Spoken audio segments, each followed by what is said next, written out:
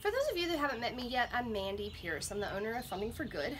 And I got started in the grant world about 20 years ago, 23 years ago, when I wrote my first grant for the American Lung Association in college. I didn't even know what grant writing was at the time, and I'm pretty sure there wasn't such a thing as a grant writing degree or nonprofit management degrees at that point.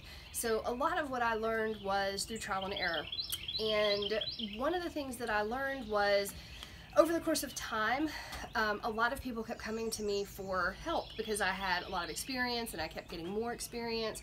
And that was the time that I realized people were coming to me and I was becoming the expert in the field. So I decided about 10 or 11 years ago that I was going to start a business, which was a part-time business initially. And then over the years it became a full-time business, which is what you see now as Funding for Good. But a lot of times folks will come to me and they'll say, hey, we want to take your grant writing class because we think we'd like to be a professional grant writer. And that is a wonderful idea, but one two-day class is not going to make you a professional grant writer. Um, the thing that really moved Marie and I both forward in the professional grant writing world was our level of experience. We had each over over 15 years of experience when we started consulting full time and we had a lot of experience behind us trial and error learning things the hard way and really building a skill set. So a couple of the things you want to think about when you're asking yourself how do I know if I'm ready to be a grant consultant are what type of grant consulting do you want to do? Do you want to be a freelancer? Do you want to be a contract employee? Do you want to be a business owner who takes on a particular set of clients? And if so, what type of clients? Do you want to take on founders? Do you want to take on small nonprofits that are a certain size? Do you prefer to work with larger nonprofits that have certain systems in place? Do you have a particular area of interest as far as the type of nonprofit? Maybe healthcare, education, human services, animal welfare? Where are your areas of passion? Um, how are you going to work with clients? Do you want to only work with clients that are in your general area? Or do you mind traveling or working virtually?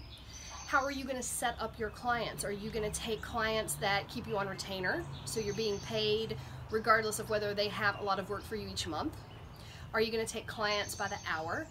Are you going to take clients on a project basis?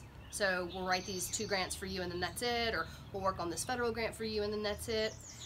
Are you going to work on foundation grants only, or are you also going to learn the skill sets of state and federal grant writing? And are you going to take on all of those? What are your price points going to be? How much are you going to charge for each of your services? Because there's a lot of services that go into grant consulting other than just writing. You know, you could do grant writing, you could do grant research, you could do um, setting up a grants department to make sure all the systems are in place. So they have reporting systems, tracking systems, research systems, and writing systems. Are you going to teach people how to do grant writing? Which is one of the things that Maria and I love to do here at Funding for Good because we really want people to be self-sufficient at some point in their nonprofit career and doing it for them all the time doesn't really get them there. So sometimes, maybe if it's just one federal grant or one state grant, they may not need to learn that process. But over the course of time, we really love to educate people and help them learn the skill set so they can do it later without us.